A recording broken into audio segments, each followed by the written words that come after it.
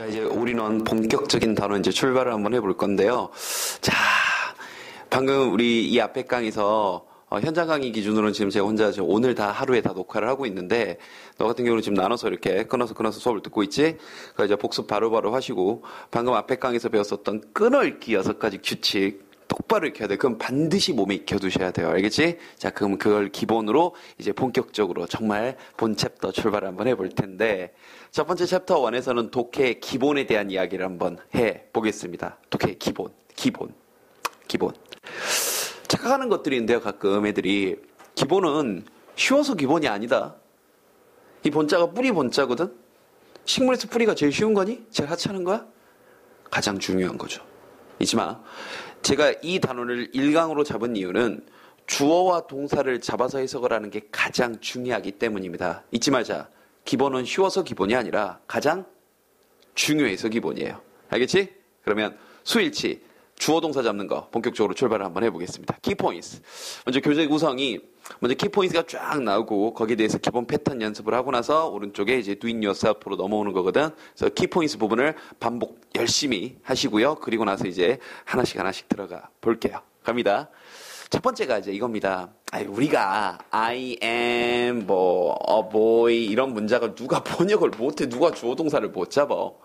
오늘 하려는 건 주어 동사를 잡는 걸 어렵게 만드는 요소들에 대한 크게 세 가지 얘기를 하는데 첫 번째가 뭐냐 주어 뒤에 수식어가 붙었을 때입니다. 그래서 그 수식어가 좀 해석을 까다롭게 만드는 수식어들이 있거든요. 그래서 오늘 그걸 좀 보여드릴게요. 첫 번째가 뭐냐면요. 어, 주어 다음에 수식어 가운데서 첫 번째 헷갈리게 만드는 요소가 주어 다음에 ed가 떴을 때입니다. 아 이거 진짜 짜증 나죠. 왜 그러냐면 선생님 이제 다른 강의에서도 얘기를 했지만 여기 있는 이디도면 새끼는 했다일 수도 있고 해진일 수도 있거든. 이게 좀 까탈스러워요. 그러니까 했다라면 이디가 했다라고 해석되면 고민 안 해도 되지. 걔가 동사니까 그냥. 근데 오늘 하려는 건 이거야. 이디 다음에 뭔가 전치사 플러스 명사나 혹은 ly와 같은 부사 이런 애들이 껴 들어오면 여기 있는 ed는 했다일 가능성보다는 해진이라고 해석될 가능성이 커요. 근데 이런 걸 왜 만들었냐? 아, 영어 잘하는 애들은 그냥 원래 알아. 딱 보고 해진 그러면서 넘어가. 근데 우린 영어를 못하는 애들이란 말이야. 개뿔도. 그래서 선생님이 100%는 아니지만 대다수 통용이 되는 꼼수를 하나 만든 거야. 법칙은 아니야. 다 되진 않으니까. 다시 한번. 이 D가 했다라고 번역될 수도 있지만 해진이라고 번역되면 이건 주어가 아니라 수식어야. 근데 이 수식어를 영어 잘하는 애들보다 우리가 좀 더 빠르게 혹은 영어 잘하는 애들만큼 적어도 걔네들만큼은 뒤처지지 않게 잡아낼 수 있는 방법이 ed 다음에 전명이나 ly가 바로 이어졌을 때는 얘는 했다가 아니라 해진일 가능성이 크고 그 뒤에 보면 아마도 제대로 된 동사가 이렇게 나왔을 거라고 알겠지. 이게 ed의 꼼수 하나 가르쳐 드린 겁니다. 다만 꼼수라고 한 건 전치사 플러스 명사가 나왔어도 했다라고 번역될 수도 있어 선생님 그러면 어떻게 해요? 어, 그래서 안전장치가 얘인 거야. 그래서 안전장치가 얘인 거야. 동사야 동사. 아니 얘가 해진이라고 번역되면 당연히 뒤에 제대로 된 동사가 와야지. 근데 뒤를 봤더니 동사가 안 왔어. 어머 미안. 얘는 그러면 여기는 이 뒤는 해진이 아니라 했다요. 미안. 됐지? 그러니까 이런 어, 안전장치까지 마지막으로 이 장전을 해놨으니까 요것까지 확인하면 100%가 되는 거라고요. 됐습니까? 두 번째. 또 우리가 수식어 가운데서 해석을 좀 어렵게 만드는 요소 가운데 한 가지가 주어 다음에 아이 또 대신아 WH가 바로 꼈을 때입니다. 우리가 덩컨을 이렇게 덩어리에서 배웠던 주어 다음에 대신아 WH가 뜨게 되면요. 우리 눈에 보이는 첫 번째 동사는 얘를 그냥 수식하고 있는 동사고 두 번째 동사가 진짜 동사야. 다시 한번 몇 번째 동사가 두 번째 동사. 그러니까 첫 번째 동사 나올 그러니까 두 번째 동사 앞까지는 네가 전부 다 수식어겠거니 하면서 쫙 묶어주고 두 번째 동사 여기서 동사 진짜 동사구나 이렇게 좀 잡아 주셔야 됩니다. 알겠지? 한 번 더 얘기한다. 우리가 지금 첫 번째에서 얘기하고 있는 건 주어 다음에 수식어가 길게 붙었을 텐데 그 수식어 가운데서 해석을 어렵게 만드는 두 가지 수식어를 대표적으로 지금 배운 거야. 알겠어? 한 번 더 요약 정리할 테니까 너는 잠깐 퍼즈 버튼 누르고 해석해, 필기해, 간다. ed 다음에 주면 잠깐 사라질게. 뿅. 자, ed 다음에 어, ed 다음에 전치사 플러스 명사가 나오면 했다가 아니라 해 진이다. 다만 절대적인 건 아니고 전사 플러스 명사가 나왔어도 동사 했다라고 번역될 수도 있어. 그래서 안전장치로 만약 뒤에 제대로 된 동사가 나온다면 방금 본 것처럼 여기 있는 건 해진이 맞습니다. 근데 만약에 뒤에 동사가 안 나오면 어, 그때 미안. 어, 여기 있는 ed는 그냥 했다라고 쓰인 거야. 두 번째, 주어 다음에 대신에 wh가 나오게 되면 첫 번째 동사가 아니라 두 번째 동사가 진짜 동사다. 되니? 그럼 바로 대표 문장 한번 볼게요. 선생님이 이제 두 문장을 좀 준비를 해봤는데요. 먼저 21번 첫 번째 문장. 여기까지는 잡힙니다. In laboratory experiment 잡히잖아. 전치사 플러스 명사. 지금 이 앞 페이지, 바로 앞 페이지에 보면 단어 정리돼 있던 거 보이죠? 물론 그거 당연히 리뷰 테스트 우리 개별 첨삭 시간에 다루시면 잡아. 저 외워. 그 정도는 지금 기본이야. 근데 단어 이거 진도 나가기 전에 뭐 네가 먼저 단어를 쭉 한번 훑어보시고 이렇게 독해하는 도중에 왔다 갔다 보지 마시라고요. 공부하기 전에 미리 한번 쭉 보시고요. 알겠지? 간다. 실험실 연구에서 자 사람들은 이게 주어야. 사실 여기 동사 표시를 해놨는데 여기 보라고요. 고민된단 말이야. expose가 노출시키다라는 동사일 수도 있어. 그래서 expose 하게 되면 노출했다 일 수도 있는데 노출된 일 수도 있단 말이야.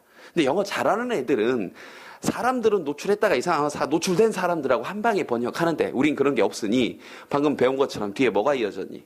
전치사 플러스 명사 이어졌지. 그러면 아 얘가 해진이구나. 그래서 뒤를 봤더니 어 이디 다음에 이번에는 전치사 플러스 명사가 아니라 그냥 하나의 명사 동사 뒤에 나오는 늘 하나의 명사 덩어리가 나왔네. 그 얘가 동사구나 이렇게 할 수 있었던 거야. 되니 해석한다. 사람들은 주어 이거 리뷰 테스트 볼 때 미리 말씀드립니다. 해석도 시킬 거고요. 끊어 읽기도 똑바로 시킬 거고 주어 동사 네가 똑바로 잡어. 이번 단원의 가장 큰 포인트야. 알겠니? 사람들은 네 이건 노출했다가 아니라 빨리 해봐. 네가 입 밖으로 소리 내봐. 노출. 된 그렇지. 110데시벨의 갑작스러운 소음에 노출된 사람들은 그래서 동사 그럼 동사 뒤에 명사 한 덩어리 감소를 경험했다. 전체 플러스 명사 in their ability 자신의 능력에 무슨 능력 to solve problems 문제 해결 능력에 됐지? 끝. 22번. 네. 별표 좀 쳐놔봐. 22번 별표. 나도 쳐놓게. 그 내가 만든 교재지만 내 말만 내 공식대로 다 되는 거 넣을 수도 있는데 일부러 이런 게 있으니까 조심하고 좀 넣어봤어요. 무슨 말이냐면 선생님 아까 미리 잡고 갈게. 분명히겠죠. 일이 다음에 지금처럼 전치사 바로 뜨면 해될 가능성보다는 해 진일 가능성이 크다고. 근데 뒤를 봐봐. 전치사 플러스 명사가 나왔는데 동사가 없어. 그리고 이건 예외적으로 어, 여기 있는 decreased는 그냥 뭐가 된 거야? 그렇지. 감소했다가 된 거야. 되니? 자, 출발합니다. 이산화탄소 배출이 CO2 emissions. 그 다음에 여기는 전치사 플러스 명사. 어디로부터?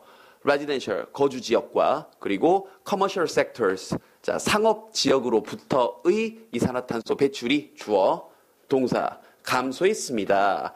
아, 3.7%와 1.0% 각각 이 단어는 뒤에서 어휘 정리하겠습니다. 2006년도에 이렇게요. 됐죠? 지금 21번, 22번 두 문장 한번 해석해봤고요. 그 다음 이번에는 두 번째입니다. 방금 한 건 이제 수식어가 길어지는 구조들을 좀 살펴봤다면 이번에는 주어 자체가 길어지는 경우입니다. 다시 한번. 뭐? 주어 자체가 길어지는 거. 그걸 우리가 뭐라고 하냐? 구나 절이 주어 자리에 올 수도 있다고 얘기를 합니다. 즉, 뭐 사실 뭐 다른 수업에서 여러 번 얘기했지만 구란 말도 어려울 수 있고 절이란 말도 어려울 수 있거든. 그러니까 이렇게 보면 돼. 구는 그냥 투가 문장 주어 자리에 나온 거야.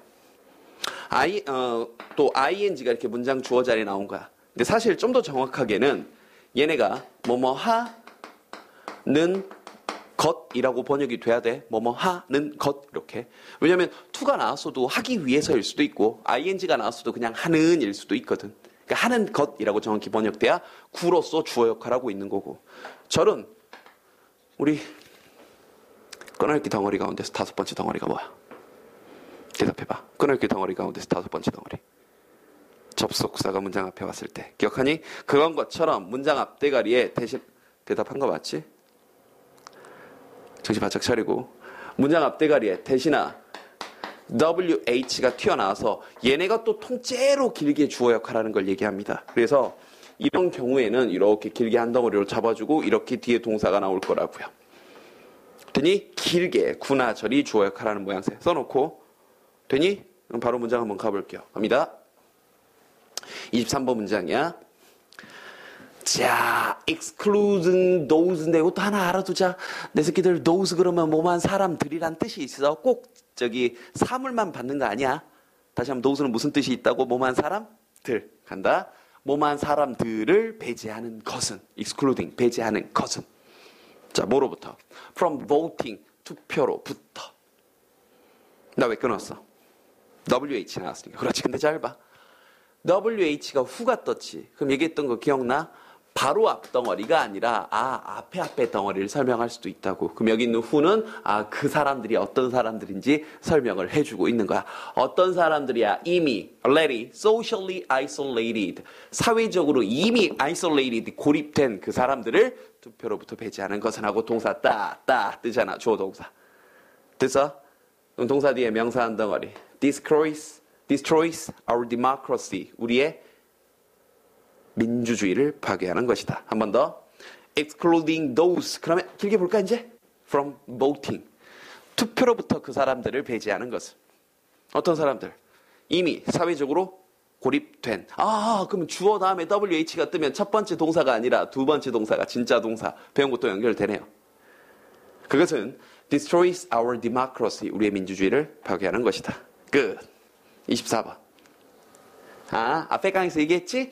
요거 두 번 만나게 될 거라고. 예, 나왔네요. 바로 나왔네요. 간다. What was true가 주어인 거야. 진실이었던 것은 이렇게. 되니 진실이었던 것은 제가 what은 영화편 좀 쳐놓고요. 음, 미리 좀 쳐놔. 됐지? 좀 이따 정리 좀 할게. 근데 over 200 years ago, 아 200년도 전에 진실이었던 것은. 그 다음 동사. is certainly 아까 했던 거라 쉽네. No uh, longer the case 더 이상 진실이 아니다. 여기까지 됐습니까? 정리 좀 할 게. 있습니다. 이거 좀 볼게요. 우리 독해하다가 지금 방금 본 것처럼 what이나 that이나 how로 출발하는 문장은요 100%다. 이건 100% 의문만 제외하고 의문문만 제외하고 100%야. 뭐냐? 항상 이 구조예요. 주어 동사 뜨고 동사 다시 나와서 좀 길게 볼까? 동사 다시 나와서 길게 얘네가 무조건 주어 역할 하고 있는 겁니다. 잡아놔. 아, 그래서 얘네들이 이렇게 동사가 두 번 나오는 구조구나. what, that, how는 무조건 주어 역할을 한다. 문장 앞에 튀어나오면. 되니? 써놓고. 됐어? 자, 그럼 간다. 간다. 24번 한 번 더. What was true, 진실이었던 것은 200년 전에 더 이상 확실히 더 이상 the case, 진실이 아니다. 앞에 어휘정리는 해놨는데 the case에는 진실인 것, 사실인 것 이란 뜻이 있습니다. 잠깐만 이제 중간 정리 좀 해보자. 우리가 지금 1단원에서 주어 동사 해석을 어렵게 만드는 요소 가운데서 중간에 수식어 끼는 거 있고 두 번째는 주어 자체가 길어지는 걸 지금 봤어. 마지막 세 번째는 뭐지? 이겁니다. 도치된 경우요. 그러니까 맨 앞에 있는 게 주어가 아닌 건데 이 수업의 특징이 지금 문법을 강조하는 수업이 아닌지라 막 문법 문법 하는 게 아닌지라 해석에 초점을 맞춘 거라 아 해석일 끊어읽기면 선생님이 말한 대로 여섯 가지 덩어리만 잘하면 이렇게 되네 문법 고민 안 해도 되네 하는 걸 보여줄게요. 잘 봐봐. 너는 지금 도치 어쩌고 저쩌고 모르잖아. 그냥 바로 갈게요. 바로 봐봐. 도치 설명 좀 있다 하고요. 아니 선생님한테 배운 대로 그냥 일단 끊어읽기를 하는 거야. 전치사 플러스 명사 먼저 해. 아, deep은 그냥 깊이라는 부사가 앞에 튀어나온 거고. below가 전치사. 그럼 땅속 깊숙한 곳에. In California and Wyoming. 캘리포니아와 와이아밍에. 나한테 그냥 이것만 배웠잖아. 전치사 플러스 명사는 끊어라. 그 다음 또 이거 배웠잖아. 동사 나오면. 동사 나오면. 뒤에 명사 한 덩어리 잡아라. 그래서 거, 두 개의 거대하지만 고요한 볼케노 화산이 있다. 이렇게요. 아, 수일치 뭐 문법 이런 건 다 건너뛰고. 그냥 끊어읽기 규칙만 하니까 되잖아. 됐니? 그 다음 것도 봐봐. 지금 패턴 설명하기 전에 문장을 바로 보여줄게요. 형용사 뒤에 동사 나왔고 동사 뒤에 명사 한 덩어리 그 사실은 분명하다야. WH at 나왔으니까 끊어준 거고요. 어떤 사실이야? 사람들이 그럼 다시 people하고 이게 또 다른 주어거든. 여기 됐 다음에 근데 주어 다음에 또, 또 후가 떴지. 그럼 또 배운 대로 해봐. 주어 다음에 WH가 떴으니까 두 번째 동사가 진짜 동사다. 이렇게. 어떤 사람들이야? spend their lives watching TV. TV 보면서 자신의 삶을 보내는 사람들이. 동사. don't read as much. 그렇게 많이 읽지 않는데요. as they ought to 그들이 해야 하는 것만큼 많이 읽지 않는데요. 이해된 얘기까지 한 번 더. 더 분명한 더 분명하다 그 사실은 어떤 사실? 사람들이 어떤 사람들이야? TV를 보면서 자신의 삶을 보내는 사람들이 동사 그렇게 많이 있게 아 이것도 알아둘래? 에지에지 할 때 앞에 에지에는 아무 뜻도 없다. 뒤에 에지 뭐뭐만큼이란 뜻이 있는 거고 이런 것도 알아도 음, 뒤에서 다 배울 건데 어, 미리 한번 가르쳐 드릴게요. So don't read as much 많이 읽지 않습니다. 그들이 ought to 해야 하는 만큼. 되니 그럼 이제 정리를 이제 거꾸로 한번 해볼게요. 다시 위로 올려주세요. 도치는 경우에 주의하라는 건 결국 이런 경우입니다. 첫 번째는요. 전치사 플러스 명사가 튀어나오고 그 다음 비동사 주어로 문장이 뒤집어지는 경우입니다. 근데 고민 안 해도 되는 게 사실은 전치사 플러스 명사니까 한 덩어리 끊고요. 동사 뒤에 명사 한 덩어리 잡으라고 했으니까 이렇게 한 덩어리 끊으시면 돼요. 사실 이거면 끝입니다. 다만 주의하실 건 이 비동사가 해석이 주의하셔야 돼요. 이게 원래 영어 문장이 주어 동사로 출발해야 하는데 전치사 플러스 명사를 앞으로 강조하면서 얘네들의 어순이 뒤집어진 건데 이런 식으로 쓸 때 비동사의 뜻은 이다가 아니라 있답니다. 이게 포인트야. 이런 식으로 쓰일 때 비동사의 뜻은 뭐라고? 이다가 아니라 있다. 정확히 번역해라. 되니? 되니? 두 번째. 두 번째가 좀 까다롭죠. 어, 문장이 형용사 지금 비동사 주어로 뒤집어졌는데 얘는 또 왜 그런 거냐면 이 주어에 대한 수식어가 너무 과하게 길었던 거야. that 혹은 wh하고 blah blah blah 하고 너무 길었던 거야. 그래서 얘가 원래 문장이 주어니까 맨 앞에 있다가 너무 기니까 얘네 둘이 위치를 서로 맞바꾼 겁니다. 이렇게. 원래 주어 자리에 있던 애는 뒤로 보내버리고 비동사 뒤에 있던 형용사는 앞으로 보내버린 건데 아이 뭘, 뭘 고민해. 선생님이 얘기했잖아. 한 덩어리 나오면 이렇게 끊으라고 동사 뒤에 명사 한 덩어리. 도치는 거 고민 안 해도 돼요. 독해할 때는. 그냥 도치 됐구나 알면 더 좋고 몰라도 끊어 이렇게 해석은 되고요. 되니? 되니? 다시 한번 해석해보게. 간다. 간다. Deep below the ground. 땅속 깊숙한 곳에. 땅속 깊숙한 곳에. 그럼 땅속 깊숙한 곳에 대한 설명인 거야, 뒤에. 아, 캘리포니아와 와이아밍에. 그 다음에 이때 비동사 뜻이 중에, 뜻이 중에 있다. 그렇지. 두 개의. 거대하지만 조용한 화산이 있다. 이렇게요. 그래서 굳이 이걸 어법 문제화 시켜주면 이 정도 얘기야. 굳이 어법 문제, 어법 얘기 조금만 해주면 앞에 여기 있는 ground를 주어로 착각하면 망하는 거지. 주어는 지금 표시했다시피 volcanos가 주어고. 알겠지? 그래서 수일치 정도는 조심해 주시고요. 됐습니까? 26번도 다시 보니까 아 원래 문장이 주어는 the fact that 여기서부터 여기까지가 주어야. 너무 길잖아. 이게, 이게 앞에 있고 얘가 뒤에 있다고 생각해봐. The fact that blah blah blah blah altitude is more obvious. 그럼 너무 좀 주어동사 위치, 길이가 좀 안 맞잖니. 그래서 위치를 바꾼 건데 아 이렇게 끊으면 되는 거지 뭐. 이렇게. 알겠습니까? 여기까지가 기본 개념이고요. 한 번 더 수일치 주어 동사 잡는 거에서 제일 어려운 조심하셔야 될 요소 세 가지. 눈 감고 자, 아, 눈 감으면 안 되지. 눈 뜨고 책 안 보고 얘기해 봐. 첫 번째, 중간에 수식어가 끼는 경우. 두 번째, 어떤 수식어 조심해야 되는지도 생각해 보고 두 번째, 구나 절이 길게 주어 자리 왔을 경우. 세 번째, 본 것처럼 도치된 경우. 알겠니? 자, 또 다음 강 보기 전에 doing yourself를 네 손으로 먼저 끊어서 해석을 해봐. 알겠지? 그 다음에 다음 강 보도록. 자, 여기까지.